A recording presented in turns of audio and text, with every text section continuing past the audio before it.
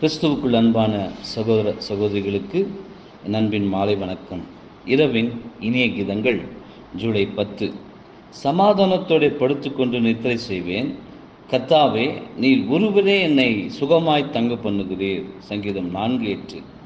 கத்தர் நம்மை பாதுகாத்து பராமரிக்கிறார் என்று நாம் அறி அறிந்திருப்பதால் நம்முடைய பாரத்தை எல்லாம் அவர் மீது வைத்துவிட வேண்டும். தற்காலத்திலே தோன்றுகிற உபத்திரங்கள் சோதனைகள் மத்தியிலே வாடாத மகிமையின் கிரீடத்தை நாம் பெற்றுக்கொள்வோம் என்கிற நிச்சயமே நமக்கு ஊக்கமளிக்கிறதா இருக்கிறது நாம் பயத்தோடும் நடுக்கத்தோடும் எல்லா அடக்கத்தோடும் கிறிஸ்துவுக்கே கீழ்ப்படிய கடவோம்.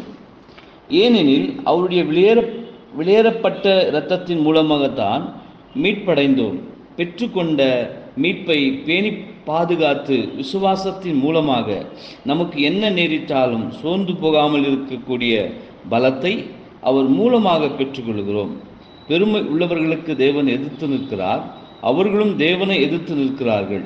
தாழ்மை உள்ளவர்களுக்கோ அவர்களுடைய சோதனைகள் எல்லாவற்றிலும் ஆசிர்வாதத்தையும் கிருபையும் நிச்சயமாக தருகிறார் என்பதே. ஆமேன்.